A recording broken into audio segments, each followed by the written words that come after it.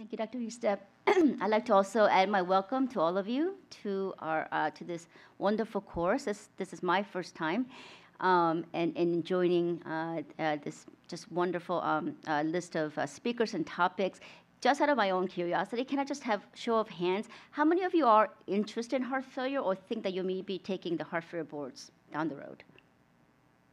Okay, well, that's good. How many of you have clinics right now, maybe as a resident or as a fellow, that you are seeing heart failure patients? Okay, so as I thought, no matter what you choose to do in cardiology, you cannot avoid heart failure. It will follow you no matter how hard you try to escape it. Um, okay. I think, hold on a second. All right. So I know um, Dr. Brown did a wonderful job in just touching the, the very vast compendium of, of uh, information that has come out of in the world of heart failure in the past 10, 15 years. Um, you can have literally a whole week of session or and, and, and lecture and discussion just devoted to this topic. What is really a wonderful guideline for all of you, and I would very much uh, recommend that you read it or at least look at the executive summary, is the 2013 guidelines. It really has the, the, the um, take home points, what you need to know for your practice, and, and what is now considered the, uh, the best option in patient care. So I've just dumbed it down and summarized it here for you. What is new in, in this 2013?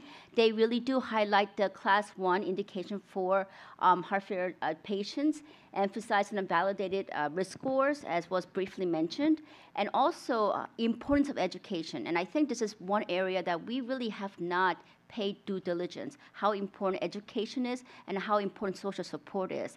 Of course, it, it ties into with, with economy of heart failure.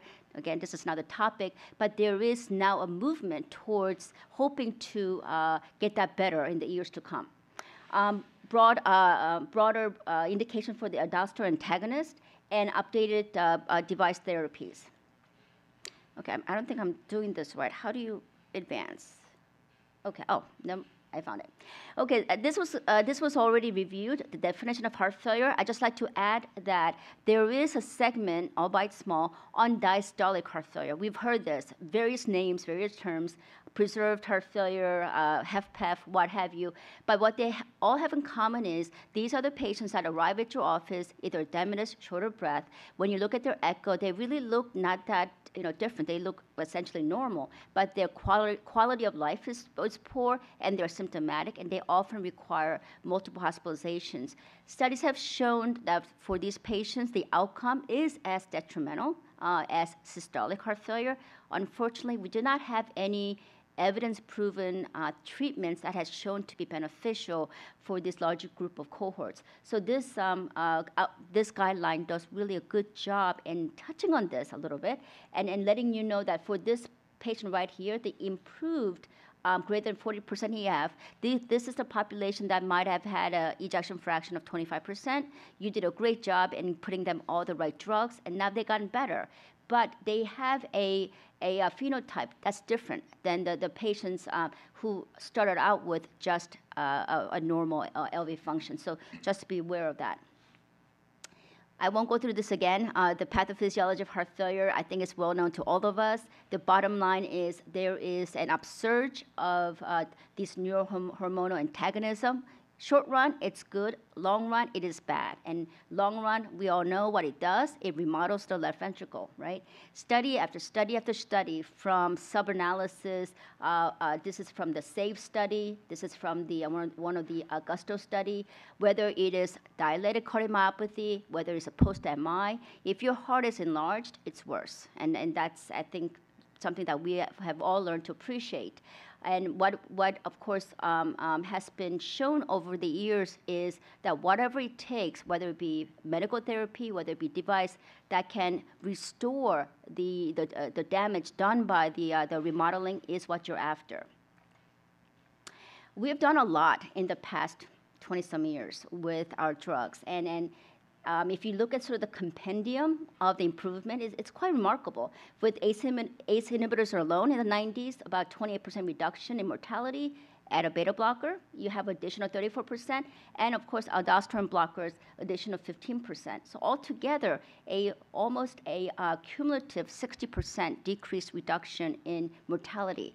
I don't think there are there is that many uh, other disciplines within medicine with chronic disease that can tout that much of an improvement.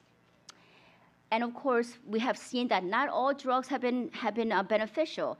Um, there have been other therapies that, that has been tried, TNF alpha blockers, ET1, um, and then some others that really have demonstrated that there is no benefit, and some actually has sh shown to be harmful.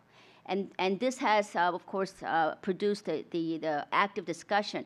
Is there a ceiling effect? It, how much neurohormonal antagonism can you provide and can you give without, uh, without you see the, the trend or the, um, the outcome measures going the other way. And so this is, I think this is something that we need to keep, uh, we need to keep on top of our heads when we look at other newer approaches to uh, treatment for heart failure.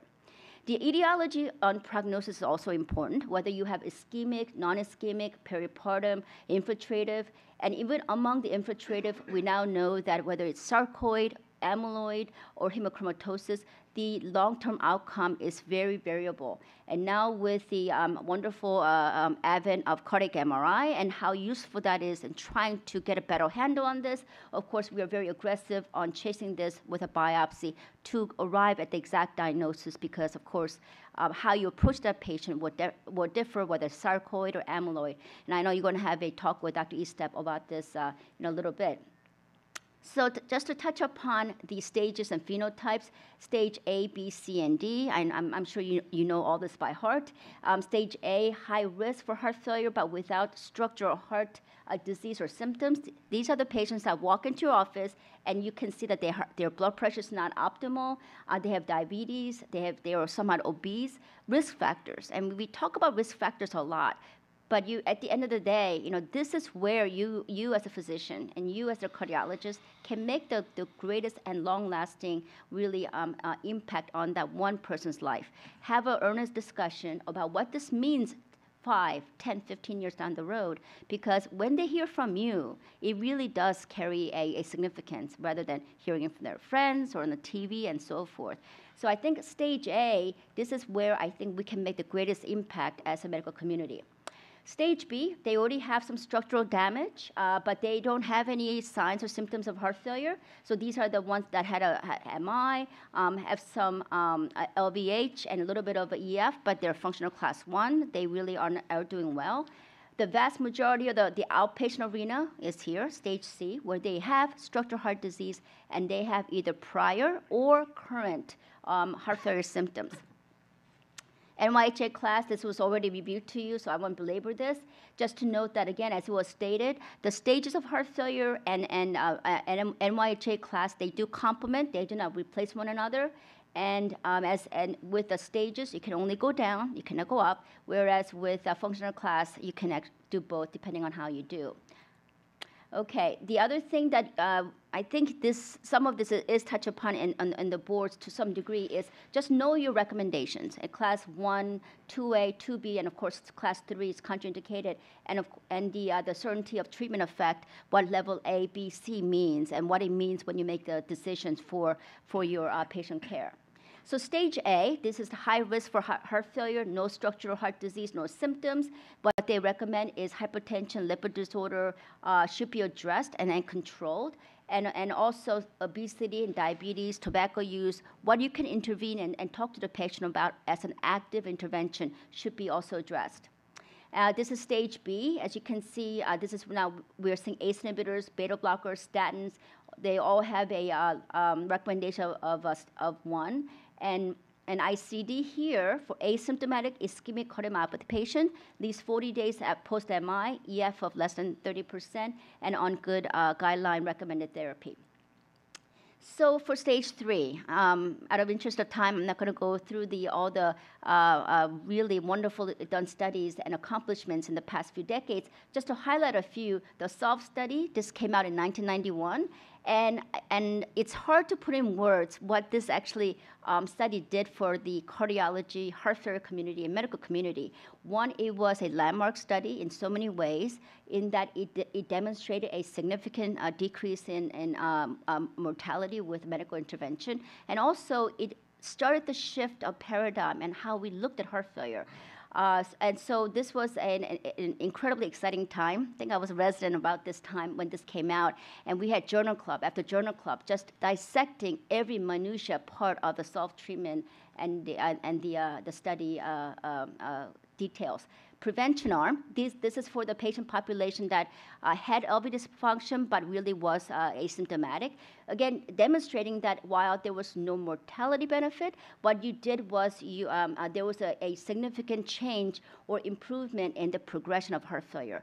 Again, never too early to intervene when it comes to uh, CHF dose. Dose, we talked about this a lot. I touched upon some. This is the ATLAS study, and, and, and some of this uh, will creep up at, at some point, I know, as you prepare for your um, other studies it does show that if you look at here, that um, higher dose did better.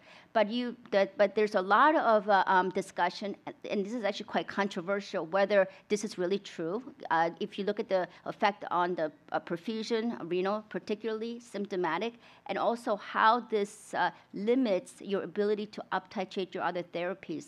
There are also other, other studies that was as well done that show that even low dose ACE inhibitors is as beneficial. So I think I just mentioned this knowing that um, uh, this, is a, this was a, uh, a sort of a, a, important studies on its own, but just be careful about the uh, final interpretation. So the ACE inhibitors and ARBs, um, recommendation A, it needs to be started ARBs, those who are ACE intolerant, absolutely, and also those um, uh, who are taking ARBs for other reasons. There is a strong um, uh, warning against a routine use of ACE, ARBs, and aldosterone antagonists which is potentially harmful. I think this is repeated about three to four times or even more throughout the whole guideline. Again, be very, very careful on using um, uh, these combinations of drugs, and it's contraindicated. Even using an ACE and an and, uh, aldosterone antagonism in an elderly diabetic, you really have to be careful, even those that have a deceptively normal looking creatinine. Beta blockers, another uh, game changer. Um, throughout the uh, 90s and, and, uh, early, and, early part of 2000, we've had a compendium of, uh, of uh, really landmark studies, Carvedilol, uh, CIBIS with bisoprolol, heart failure, Copernicus with Carvedilol, demonstrating an incredible rate of mortality benefit. And, and I think uh, this will demonstrate the full swing in how, again, we were thinking about heart failure. Back in the 70s and 80s, heart failure was a hemodynamic uh, uh, a disease, you improve the numbers that you see in the SWAN, you'll get the patient better. So the, the push was to get the cardiac output better, to get you know numbers looking better. Of course, that didn't pan out. And, and if you um, ever sometimes have a time and want to go back historically, you can see in the 60s and 70s all of these arguments that, uh, that that uh, clinicians had, some stating that beta blockers should be used, and a majority of people saying that this is malpractice and what are you doing? You're killing patients. There's really a lot of uh, interesting debate that went on. Well, 30 some years later, we know what you know that you know beta blocker is a for, forerunner uh, for your patients if you want to get them better. Of course, uh, all three beta blockers can be should be used as early as possible. Of course, the only caveat is if you have somebody really who's marginal, blood pressure is 85 to 90, and and and, and they're sort of hanging on by euvolemic thread. Uh, those are the patients that you really need to be very very careful and always remember that um, um, you do have time and that little is better than none. So I always believe that it is, it is better to start, start somebody on a tiniest bit of beta blockers and then taking it very, very slow um, and with close follow-up so that they, you minimize the chance that they'll decompensate and come back to you in the emergency room because that will happen and you'll, you'll run into this um, some, somewhere in your practice. Okay, um, I'm not going to belabor this. I'm, I'm, sure that you all know the difference between the two drugs. Um, aldosterone evaluation, uh, RALES study, again, another landmark study. Uh, this study came along about at a time where uh, there were a lot of negative trials, one after another in chronic heart failure. And, and this came as a really huge disappointment because you know after all the um, ARB trials, ACE inhibitor trials, beta blocker trials, you know we were sort of getting used to the idea. You know we really can keep on making these amazing increments, and then we hit a break, um, and with all the negative studies. So this sort of broke that barrier in a way where we, had, we were shown that there's a yet another pathway that will uh, markedly improve the outcome, and this was RALES study. Um, you can see the exclusion criteria with the creatinine and potassium. Uh, 25 milligram a uh, day was used, and the drug was held for obvious reasons, hyperkalemia and worsening renal function. And, and based on this study and the uh, Ephesus study, the uh, um, indication is as follows from uh, NYHA class 2 to 4. And you can see the creatinine should be um, less than 2.5, and, and, there's a really strong indications and guidelines. In the end, I think that being very, very cautious with close follow up, one week uh, BNP check and, and another one for two weeks or one month, and, and serially after is really important so that the patients can get the full benefit without, um, uh, without having the uh, suffering from hyperkalemia and other things. Um, uh, again, another, uh, uh, another uh, sort of warning uh, using this drug with renal function. And the A-HeFT trial uh, for the African American patients who was noted not to receive as much benefit from ACE inhibitors. So the ACE inhibitor, hydralazine and, and uh, combination was added and, and with demonstrating a very significant benefit. So based on this, the combination of, of hydralazine and Isordil is as a very strong indication. Also, as we often use, even in, in all the heart failure population, is utilizing them for patients with renal insufficiency. And the DIG has a beneficial for um, decreased hospitalization, a kind of a middle of the road um, indication. Anticoagulation, this always tends to be a hot topic. Patients that have chronic heart failure and another indication, whether it's permanent, persistent paroxysmal AFib, and an additional risk factor for cardioembolic stroke, elderly, diabetic, prior stroke, and what have you, definitely you have to anticoagulate them which agent you use, whether it is warfarin or one of the newer agents, actually that is a, um, that's another discussion, but either way, you can use um, any of the agents. Now, the chronic anticoagulation is reasonable if you just have somebody with LV dysfunction and AFib, whether it's persistent or paroxysmal. But if you have no other indication, uh, anticoagulation is contraindicated. So LV dysfunction alone per se, it is not an indication for um, anticoagulation. These are some of the uh, uh, C, do not do kind of page. Um, again, the, you can see the same one here, hormonal therapies, um, not recommended. Calcium channel blockers as a first line uh, uh, regular routine use, not recommended.